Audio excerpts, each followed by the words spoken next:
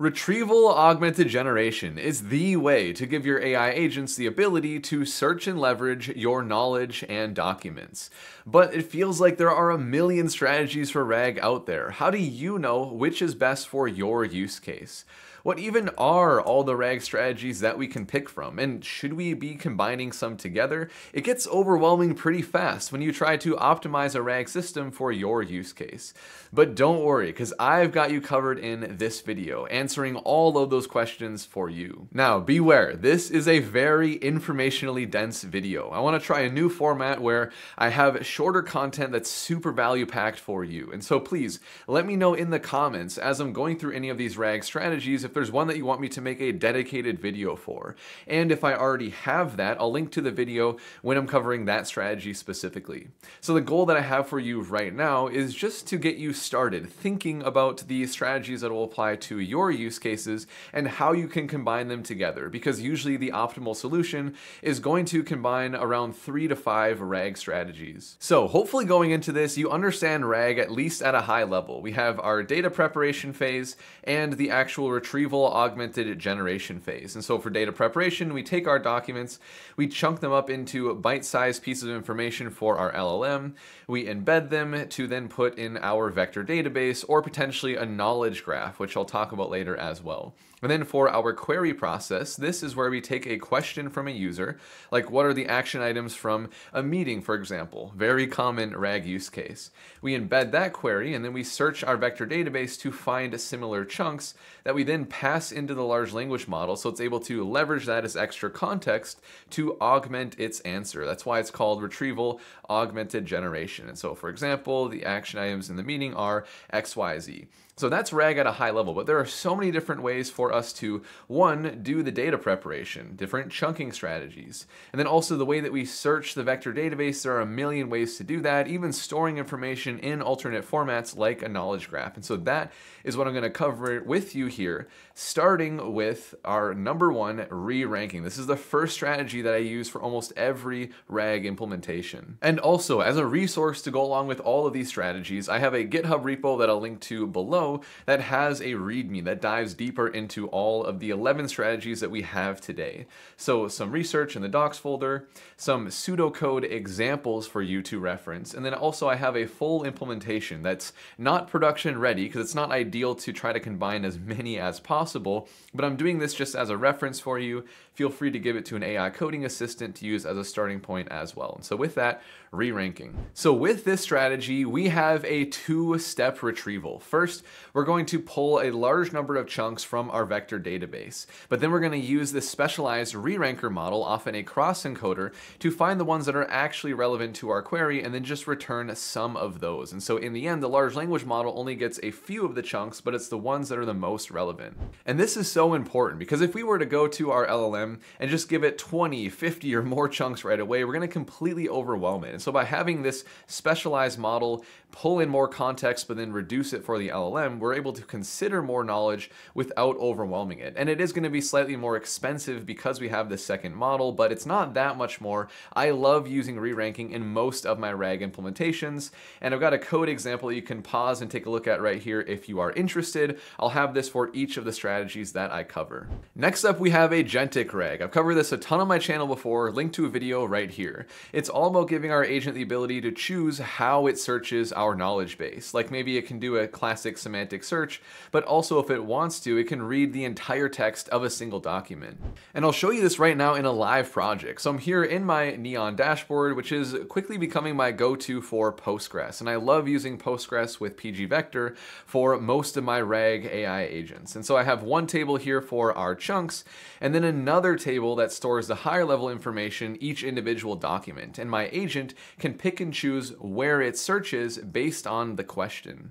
And so this makes RAG very flexible, but it is going to be less predictable as well. So you want to incorporate agentic RAG when you have very clear instructions for when you want it to search the knowledge in the different ways that you give it. And then also here is a code example if you want to pause and take a look at that. Next up we have knowledge graphs, another thing that I've covered a lot in my content, linked to a video right here. We're combining traditional vector search, which is what I showed in this diagram, with a new type of database, a graph database that stores entity relationships or agent can not just do similarity search, but it can also search through relationships that we have in all of the entities in our knowledge. And so you generally end up with a graph that looks like this, that you're usually using a large language model to build, extracting the entities and relationships from the raw text that you feed in. And so knowledge graphs are fantastic for interconnected data, but just keep in mind, since we're usually using an LLM to extract from documents, it's gonna be a lot slower and more expensive to create our knowledge graphs. And so take a look at this. This is the pseudocode if you wanna see an example using Graphiti, which is my favorite library for working with knowledge graphs. Next, we have contextual retrieval, which is something that Anthropic has done a lot of research on. They have some very enticing statistics for how much it helps with the general retrieval process. And so what we're doing is we're using a large language model to enrich each chunk with information that we put at the start that describes how the chunk fits with the rest of the document. So back in my Neon dashboard, I'll show you what this looks like in a real database. And so for all of the chunks that I have stored here, if I click into any one of them, take a look at this. We have this text that is prepended that describes how this specific chunk fits with the document. And then we have the triple dash and then the content of the actual chunk. And so this is embedded along with the rest of the information for every chunk that we have. So there's just more context with everything that we store, but we're using a large language model to create every chunk now, and so it's going to be a lot slower and more expensive, like knowledge graphs. Next is query expansion. This is one of the simplest. All we're doing here is taking the user query, and before we send it into the search, we are using a large language model to expand the query to make it more specific in ways that we know are going to lead to pulling more relevant chunks from the knowledge base. And so we define the instructions for how to improve the precision by adding more relevant details. Obviously, the trade-off here is that it's going to be slower because we have an extra large language model call for every single search that we perform. And another simple and kind of similar RAG strategy is multi-query RAG. So instead of using a large language model to expand upon one query, we're using an LLM to generate multiple different variants and then sending them into our search in parallel. And so it gives us more comprehensive coverage, obviously at the cost of having an LLM call before each search again, and then more database queries overall. And so here is a quick code example. Now onto context-aware chunking. This one's a little bit different because up until this point, we've only been talking about strategies for the query process, but it's also important to have solid strategies for data preparation. And so this is speaking to how we split up our documents to put in our knowledge base, because we definitely need to. If we don't split our documents into bite-sized pieces of information, then our embeddings are inaccurate and our agents are pulling way too much information. But when we split, we want to make sure that we maintain the document structure. And so what we're doing here is we're using an embedding model to find the natural boundaries in our document so that we can split and it's going to be free and fast and we will maintain our document structure. It's obviously more complex than if we're just doing like a split every 1000 characters or something like that, but I find this to be very, very worth it. And Docling is a library that I use in Python that makes it very easy to implement hybrid chunking, which is a form of context-aware chunking. I got a video on that right here. Now for another chunking strategy, we have late chunking. Full disclosure, this is the only one that I haven't used myself. It's also definitely the most complicated, but I wanted to include it here because I think that it is fascinating.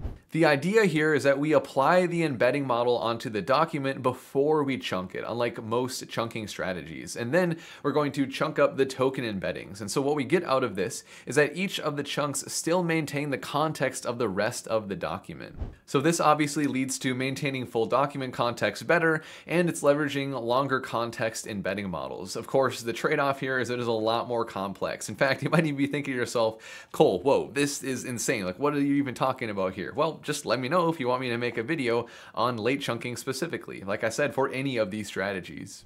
Next, we have hierarchical RAG, and the idea here is that we have different layers of our knowledge stored in our database. So we can have these parent-child chunk relationships, and generally we store these relationships as metadata for all of our chunks. And so we can search small to be very precise, right, like searching individual paragraphs, but then we can pull the entire document for a specific chunk that we find. So we're balancing precision, you know, searching small, with context, returning big. And you could argue that hierarchical RAG is sort of a subset of agentic RAG, because it sounds very similar to what I was showing you in Neon earlier. And going back to Neon really quick, I'll actually show you this. Let's say that our search finds this chunk right here. We can look at the metadata, and we can see that this chunk came from this specific file. So then we could go to the document document metadata table and pull the content of that entire file. So for a, a system where you want it to do precise search, but then look at larger sets of context, like assuming your documents aren't too big to read the whole thing, then this is an awesome approach. It obviously adds more complexity and a little bit of unpredictability like agentic RAG, but this is a very powerful strategy as well. Next is self-reflective RAG. After the last couple, I just want to show you another simple one again, because all we have here is a self-correcting search loop. So we perform our initial search, and then we call upon a large language model, given the chunks and the question, to produce some kind of grade, like maybe on a 1 through 5 scale. And then if it's less than 3, for example, then we're going to call the RAG tool again with a refined search to try to get more relevant chunks. And so it's self-correcting just at the cost of more LLM calls, because obviously after every search now we need to call into a secondary LLM before we're returning chunks to our agent, and then potentially retrying.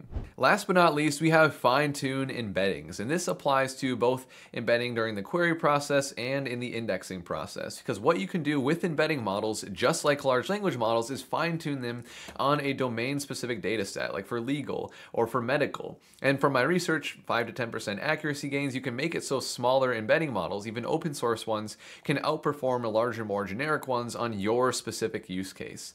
Now, this requires a lot of data to train and infrastructure ongoing maintenance since it is your embedding model now, but this is a very powerful use case when you have a data set that you can use to train a model. For example, you might have a use case where you want the similarity to be based more on the sentiment versus the semantic similarity of the text. So for a pre-trained embedding model, my order was late is going to be similar to shipping was fast, right? Because that's both about the order itself versus the individual items. But you can fine tune the embedding model to make it so that my order was late is going to be most like items are always sold out because now it's based more on sentiment. You can have a sentiment based training set to make your embedding model operate like this instead.